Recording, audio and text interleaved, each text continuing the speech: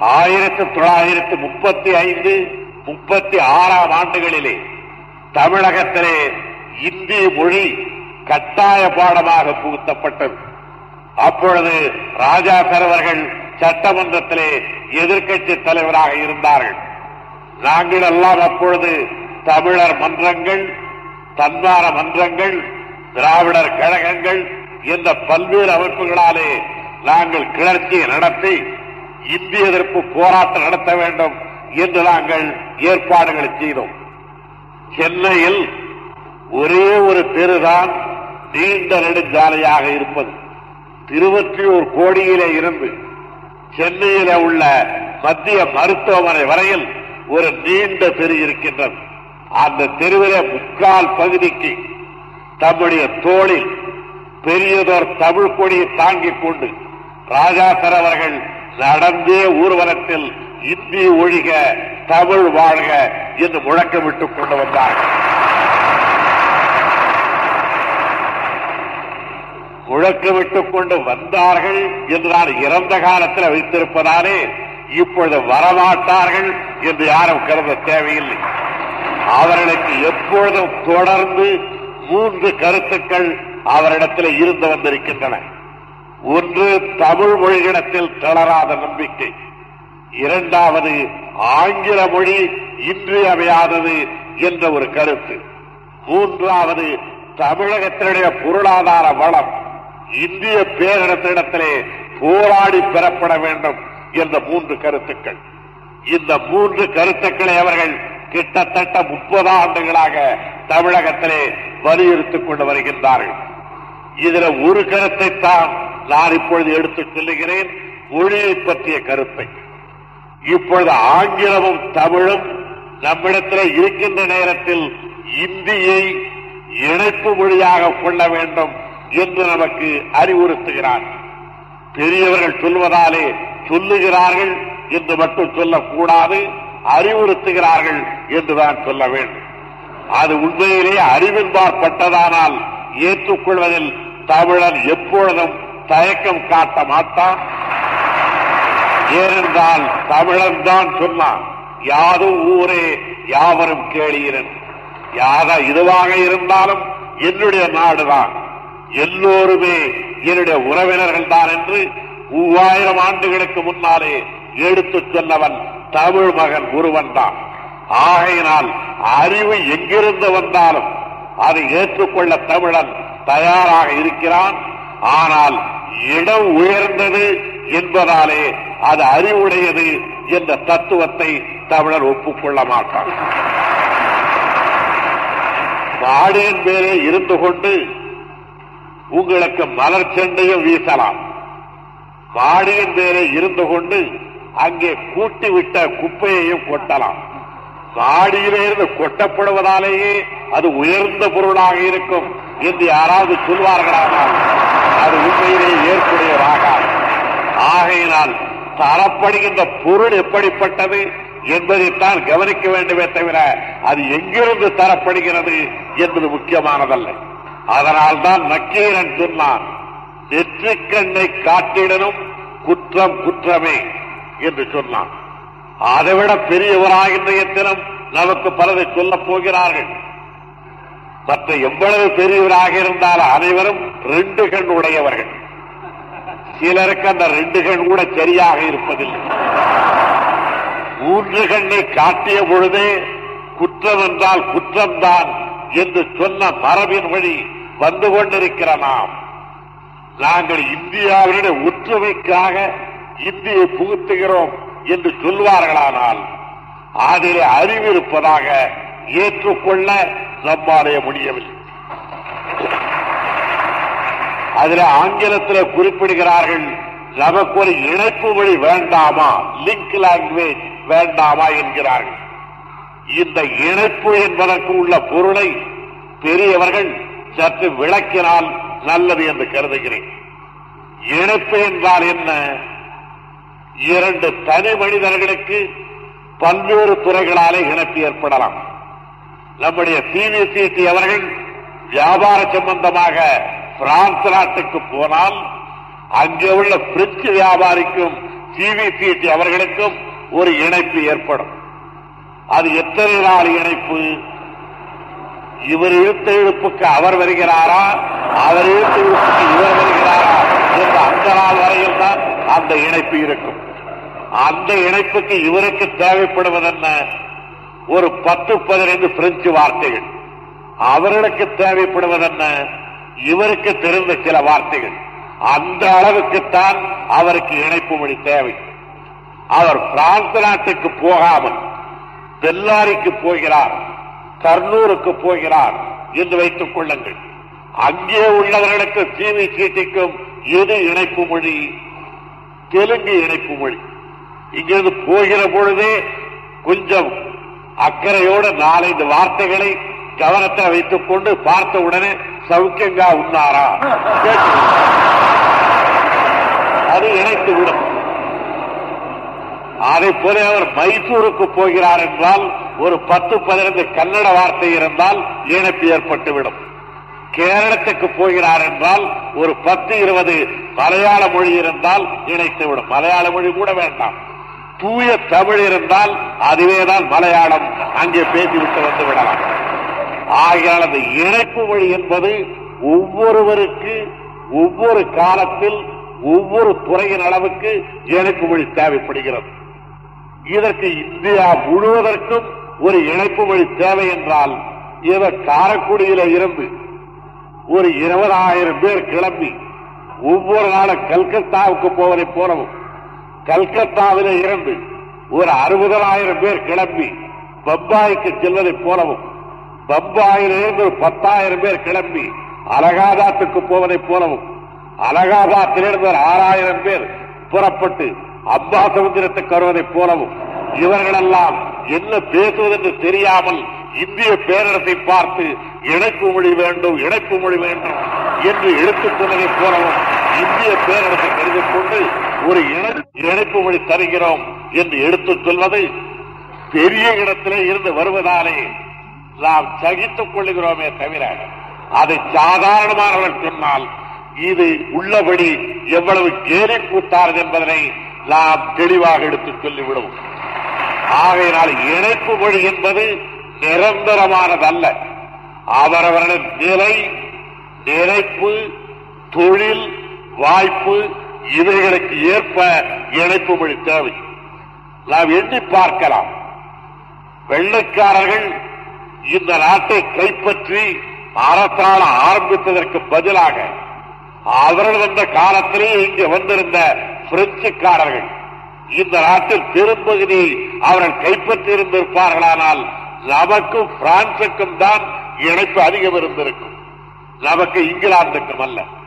நமக்கும் பிரான்சுக்கும் அந்த இணைப்பு ஏற்பட்டு இருந்திருக்குமானால் நமக்கும் பிரெஞ்சு மொழிக்கும் தான் அதிக தொடர்பு இருந்திருக்க முடியும். அப்பொழுது நமக்கும் அவர்களுக்கும் இணைப்பு மொழி பிரெஞ்சு மொழி என்றுதான் ஏற்றுக்கொள்ள வேண்டி வந்திருக்கும். ஆகையால் இணைப்பு மொழி என்பது அறுதியிட்டு உறுதியாக சொல்லத்தக்கதல்ல. அறுதியிட்டு சொல்லத்தக்க மொழி ஒன்றே ஒன்றுதான் அவனவனுடைய தாய்மொழி. அது கற்றுக் கொடுத்து வருவதல்ல கருவியிலே உருவாவது. அது படித்து தெரிந்து கொள்வதல்ல பேசி பழக்கத்தினாலே அது வந்து கொள்வது. இந்திய படிக்கிறோம் என்று வைத்துக் கொள்ளுங்கள். வகுப்பறையில படித்துவிட்டு ஒரு மாணவன் வீட்டிற்கு வருகிறான். மறுபடியும் வகுப்பறைக்கு போகிற வரையில் அவருடைய காதில் அந்த மொழி ஒலி விழப்போவதில்லை. அவனுடைய வாயில் அந்த எழுத்து வரப்போவதில்லை. உள்ளே நுழைகிற பொழுதே அம்மா என்று அழைத்துக் கொண்டு வருவான். அன்னையும் அவரை பார்த்து வாடா மகனே என்று அழைப்பார்கள். ஏதாவது தின்பண்டம் தருவார்களானால் தமிழ் பெயரோடு உள்ள தின்பண்டம் தான் அவரிடத்தில் தரப்படும். இதழ்கள் வருகின்றன என்றால் பிரித்தவுடனே தமிழ் மொழிதான் அவருடைய கண்களிலே தட்டுப்படும். அங்காடிக்கு செல்வாரானால் தமிழ் மொழிதான் பேசுவார்கள். ஆத்தோரத்துக்கு செல்வாரானால் தமிழ் மொழிதான் அங்கே இருப்பதை காணுகிறான். மறுபடியும் மறுநாள் பகல் வகுப்பறைக்கு போய் இந்திய ஆசிரியர் வந்து மணி பனிரெண்டு என்று கண்டு சரி எடு புத்தகத்தை என்றவுடன் அப்பொழுது கூட மறதி காரணமாக முதலில் தமிழ் புத்தகத்தை தான் எடுக்கிறான்.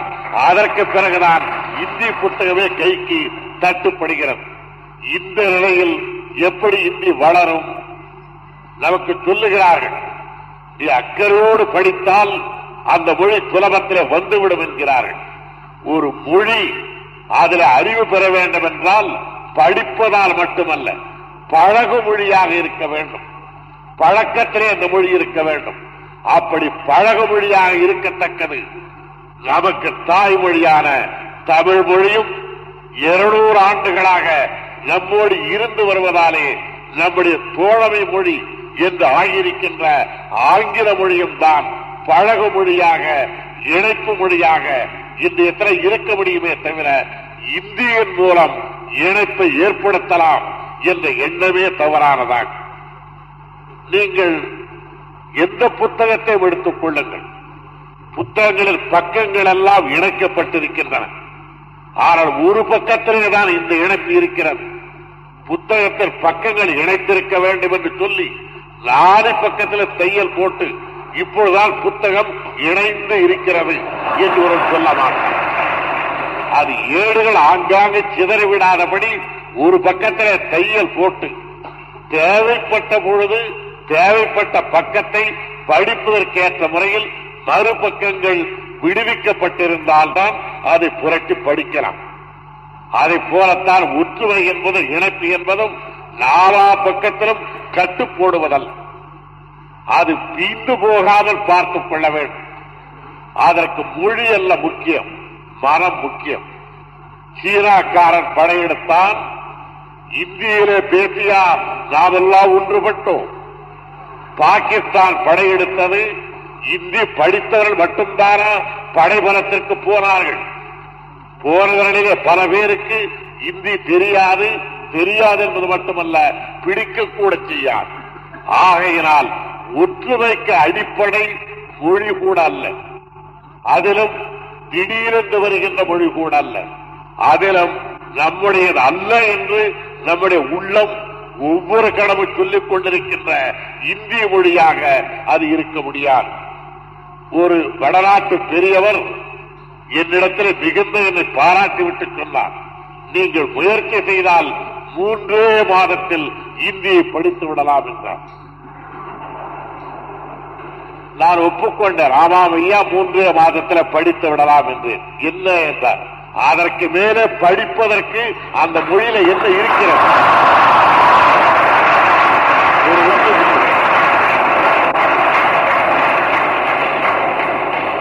ஆனால் நம்முடைய தமிழ் மொழியில் அப்படி சொல்வதற்கில்லை. முப்பது ஆண்டுகள் படித்தவர்கள் கூட இன்னும் எனக்கு இந்த இடத்தில் பொருள் சரியாக விளங்கவில்லை என்று இன்றைய தினம் கூட புலவர்கள் கஷ்டப்படுகிறார்கள் நம்மை போன்ற சாதாரண மக்கள் அல்ல. அப்படிப்பட்ட மொழி நம்முடையது. நாம் தாழ்ந்திராமல் இருந்திருப்போமானால் இதை ஆட்சி மொழியாக ஏற்றுக்கொள்ளுங்கள் என்று இந்தியாவில் உள்ள மற்ற பகுதிக்கு நாம் கட்டளை பிறப்பித்திருக்க வேண்டும்.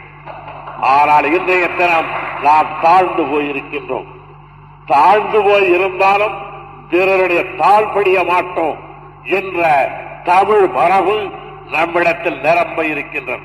ஆகையினால் தமிழ் ஆங்கிலம் ஆகிய இரண்டு மொழிகளையும் தமிழ் தங்களுக்கு வாழ்க்கைக்கு தேவையான மொழிகளாக அவர் வைத்துக் கொள்ள வேண்டும் என்பதில் தமிழக அரசு முனைந்திருக்கிறார் இணைப்பு மொழி வேண்டாமா என்பவர்களுக்கு ஆங்கிலம் இந்தியாவிலே கல்கத்தாவுக்கும் காவேரி பட்டணத்திற்கும் பம்பாய்க்கும் அம்பாசமுத்திரத்திற்கும் அது இணைப்பு மொழியாக இருக்குமானால் அதை வெளிநாடுகளுக்கு இணைப்பு மொழியாக வைத்துக் கொண்டிருப்பதைப் போலவே இந்த இடத்திற்கு ஏன் வைத்துக் கொண்டிருக்க கூடாது?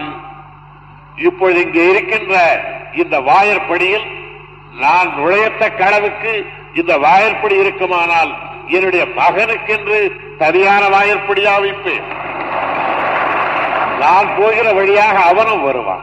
அதை போல உலக நாடுகளோடு இந்தியா இணைந்திருப்பதற்கு ஆங்கிலம் பயன்படுமானால் இந்தியாவில் ஒரு பகுதிக்கும் இன்னொரு பகுதிக்கு இணைப்புக்கு தனியாக ஒரு மொ- சாதாரண பழமொழி சொல்லுவார்கள் கிராமப்புறத்தில் பூனைக்கு ஒரு வழியும் அதன் குட்டிக்கு ஒரு வழியும் வேண்டுமா? என்பார்கள். ஒரு சுவற்றை துளைத்துக் கொண்டு ஒரு பூனை அப்புறத்திற்கு செல்ல வேண்டுமானால் அந்த தாய் பூனை போகின்ற அளவுக்கு ஒரு துவாரம் கிடைத்து விட்டால் அதன் வழியாக அதனுடைய குட்டிகளும் போகும். இது தாய் நுழைய வேண்டிய ஓட்டை குட்டிக்கு இன்னொன்று தோன்றுகிறேன் என்று பூனை சொன்னார் அதே போல உலகத்தோடு இணைந்திருப்பதற்கு ஆங்கிலம் போதுமானதென்றால் இந்தியாவில் பல பகுதிகள் ஒன்றாக இணைவதற்கு அந்த வழி இருந்தால் என்ன? இந்த சாதாரண வாதத்தை ஒப்புக்கொள்ள மறுப்பதற்கு மூன்று காரணங்கள் இருக்கலாம். ஒன்று அவர்கள் இருக்கிற இடம் உயர்ந்தது என்பதாலே. இன்னொன்று அவர்கள் சொல்லுபவர்களாகவும் நாம் கேட்டுக்கொள்பவர்களாகவும் இருப்பதால் மூன்றாவது நாம் எதை சொன்னாலும் நம்பி விடுவோம் என்ற கருத்து இருப்பதால். ஆனால் தமிழகம் இந்த மூன்றையும் ஒப்புக்கொள்ள மறுக்கிறது என்பதை நன்றாக நன்றாக மெய்ப்பித்திருக்கின்றோம். அதை நீங்கள் மெய்ப்பிக்கின்ற வகையில் தமிழிலும் ஆங்கிலத்திலும் தனிப்புலமை பெற வேண்டும்.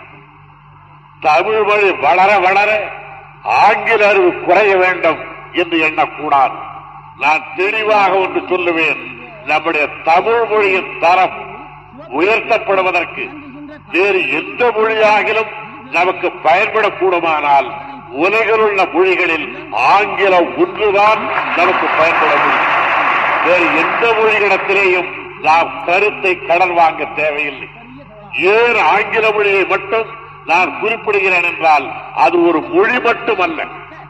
வேறு எந்த மொழியிலே வந்த கருத்தையும் இருபத்தி நாலு மணி நேரத்தில் ஆங்கிலத்திலே கொண்டு வந்து விடுகிறார்கள் வேறு எந்த மொழி நூலையும் ஆங்கிலத்திலே மொழிபெயர்த்து விடுகிறார்கள் நீங்கள் கேட்டால் வியப்படைவீர்கள். ஒரு காலத்தில் நெப்போலியன் என்ற பெயரை சொன்னால் இங்கிலாந்து நாட்டில் அழுத குழந்தைகள் பயத்தினாலே வாய் மூடும். இங்கிலாந்து நாட்டின் பெரும் பகைவன் என்று நெப்போலியன் கருதப்பட்டான். அப்படிப்பட்ட நெப்போலியனுடைய வாழ்க்கை வரலாறு பிரெஞ்சு மொழியில உள்ள நூற்களை விட ஆங்கில மொழியிலே தான் அதிகமான நூற்கள் இருக்கின்றன. அவர்கள் ஒரு விந்தை மனிதர்கள். தங்களுக்கென்று சொந்தத்திலே இருந்தது மிக கொஞ்சம். ஆனால் உலகத்திலே கிடைத்ததையெல்லாம் திரட்டிக் கொண்டு வந்து தங்கள் மொழியின் மூலம் தங்களுடையதாக்கிக் கொண்டார்கள். ஆகையால் தான் அந்த ஆங்கில மொழியின் துணை தமிழ் வளர்வதற்கு நமக்கு மெத்த பயன்படும் என்று நான் கருதுகின்றேன். அந்த அளவுக்கு இந்தியாவில் வேறு எந்த மொழியிடத்திலேயும் நாம் கடன் வாங்க வேண்டிய அவசியமில்லை. அதில் இந்திய மொழியிடத்தில் நாம் எதை கடன் வாங்குவது போன வருடம் வரையில் இந்தியில மொழிபெயர்ப்பு செய்கின்ற துறையினருக்கு இருந்த பெரிய ஒரு பிரச்சனை ஆங்கிலத்தில் சொல்லுகிறார்கள் ஸ்டேஷன் மாஸ்டர் அதற்கு என்ன பொருள் என்ன பதம் கண்டுபிடிக்கலாம் என்று ரெண்டு வருடத்திற்கு முன்னாலே இந்திய பண்டிதர்கள் மெத்த சிக்கலுக்கு ஆளாகி இருந்தார்கள். போன வருடத்திலே கூட இந்திய மொழியிலே பதங்கள் இல்லாததாலே மற்ற மொழிகளிலே உள்ளதற்கு அதை புகுத்துவது என்று ஆரம்பித்து ஆங்கிலத்தில் பெடரேஷன் என்றிருக்கின்ற பதத்திற்கு அசோசியேஷன் என்று இருக்கின்ற பதத்திற்கு இந்தியிலே என்ன வார்த்தை சேர்க்கலாம் என்று ஒவ்வொரு மொழியாக ஆராய்ந்து நம்முடைய தமிழகத்திலே இருந்து சென்ற ஒரு வழக்கறிஞர். அசோசியேஷன் என்றால் கழகம் என்று சொல்லலாம் என்று எடுத்து சொல்ல. அதை கேட்ட ஒரு வடநாட்டு அரசியல்காரர் கழகம் இந்த காதிலே விழுந்தவுடனே ஐயோ அது வேண்டாம் என்று சொல்ல. அதற்கு அந்த தமிழ்நாட்டுக்காரர் கழகம் என்றால் நீங்கள் ஏதோ அரசியல் கட்சி என்று கருதாதீர்கள். கண்ணுதர் பெருங்கிடவுள் கழகமோடு அமர்ந்து பாடலை சொல்ல டிஎம்கே இப்பொழுதுதானே ஆரம்பித்தார்.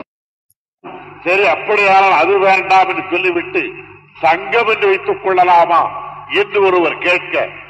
அதை கேட்டவுடனே வங்காளத்துக்காரர்கள் வங்காள மொழியில் சங்கம் என்றால் வேறு மாதிரியான பொருள் இருக்கிறது. எங்களுக்கு வேண்டாம் என்று அவர்கள் சொல்ல மன்றம் என்று வைக்கலாமா? என்று கேட்க அது அவ்வளவாக அவர்களுக்கு தெரியாததாலே வைத்துக் கொள்ளலாம் என்று போன வருடத்தில் தற்காலிக முடிவெடுத்தார்கள். நிரந்தர முடிவு எனக்கு இன்னமும் தெரிவிக்கப்படவில்லை. அந்த அளவுக்கு வளமற்றிருக்கின்ற ஒரு மொழியை இணைப்பு மொழியாக கொள்வது நாங்கள் இருவரும் கைகோர்த்துக் கொண்டு உலாகினோம் என்று கையிழந்த ஒருவரும் கையுள்ள ஒருவரும் பேசிக் கொள்வதற்கு சமானமாகவும் நான் அவருடைய அவன் என்னை அழைத்துக் கொண்டு சென்றான் என்று விழியிழந்த ஒருவனை காட்டி விழி உள்ளவன் நான் அவன்தான் எனக்கு வழிகாட்டுவான் என்று சொல்வதைப் போலவும் இருக்கும் பூவை மாலையாக தொடுத்து இந்த மல்லிகைக்கு என்ன பெயர் வைக்கலாம் என்று வீதியில உலாவதைப் போலவும் ஏறி கூத்தாகுமே தவிர உண்மையானதாகாது.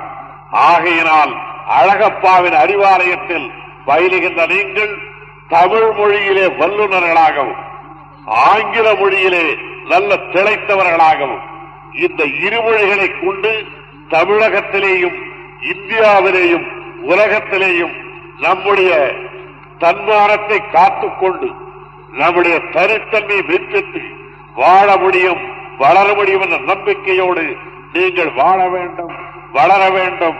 என்று உங்களை வாழ்த்தி இந்த விழா நாளன்று நான் இங்கே வந்திருந்தேன் டாக்டர் அழகப்பா அவர்களின் முப்பது நாற்பது ஆண்டுகளுடைய அவருடைய வாழ்க்கை வரலாற்றை ஓரளவுக்கு எடுத்துக்காட்டத்தக்க விதத்தில்